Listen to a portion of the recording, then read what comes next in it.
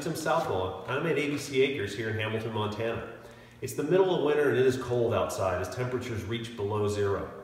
This proposes a lot of different problems for our waterers that we have out for our livestock. Specifically, our mobile poultry units that are from, uh, in the far distance, which necessarily don't have electrical hookups.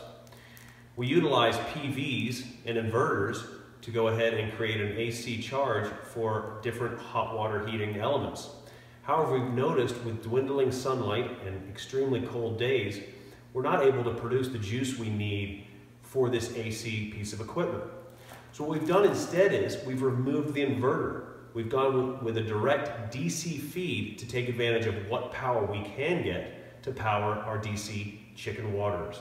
However, if you look out online to look for DC run chicken waterers, they're not readily available.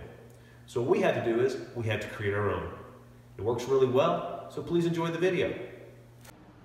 Using half inch plywood, polystyrene boards of two inches, a pumice stone of eight inches cubed, a six foot electrical cord, and a 12 volt 50 watt bulb, we, and a bunch of duct tape, we've essentially created a plug-in DC heater where the 12 volt 50 watt bulb heats inside this small cavity.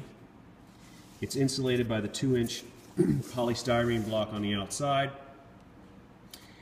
Thereby the cake pan goes on top, the heat radiates up and keeps the water from freezing.